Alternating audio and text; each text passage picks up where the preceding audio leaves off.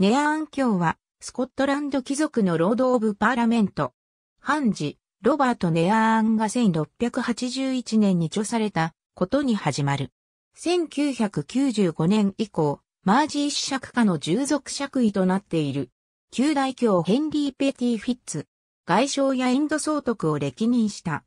スコットランド民事控訴院長を務めた判事、ロバート・ネアーンは1681年1月27日に、スコットランド貴族としてネアーン卿に叙された。彼には、一人娘のマーガレットがあるのみであったため、爵位は、娘婿、ウィリアム・マレーを継承者に加えた、特別継承権を帯びており、初代教の後は、彼が教位を相続した。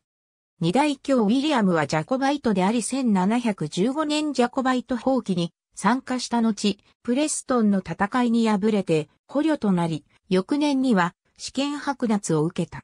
その息子ジョンも父同様に、ジャコバイトとして1715年ジャコバイト放棄及び1745年ジャコバイト放棄に参加してたびたび試験剥奪を被った。その孫にあたるウィリアムの代に、1824年1月17日の議会法によって不祖に対する試験剥奪処分の撤回とネアーン教くらいの回復が認められた。しかし、彼の息子である六代教ウィリアムが未婚のまま死去したため、ネアーン教位は二代教、ウィリアムの夜叉後にまで遡って、フラオ伯爵夫人、マーガレット・マーサー・エルフィンストンが継承した。七代女教マーガレットは、フランス外相、タレーランの子である将軍、シャルル・ド・フラオと結婚していたほか、父からも爵位を相続していたため、キース・ジョダン爵位も合わせて保持していた。ただし、彼女がその生涯で脅威を主張することはなかった。その長女エミリーは、ネアーン教くらいの保持者である旨を主張して、1874年に貴族院よりこれを認められている。なお、彼女はランズダウン公爵家に嫁いだため、脅威はさらに同公爵家へと流出した。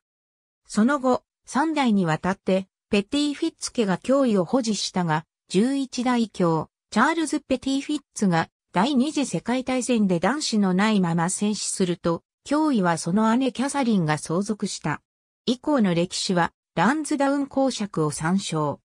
12代女卿キャサリンは、第三代マージー子爵、エドワード・ビガムと結婚したため、ネアーン卿はマージー子爵家の従属爵位となり、現在に至っている。以降の歴史は、マージー子爵を参照。一族の邸宅は、サセックス州プルバラ近郊に位置するビグナーパーク。教くらいの法定推定相続人は、現当主の娘であるミストレス・オブ・ネアーン・フローラ、ダイアナ・ジョアン・ビガム。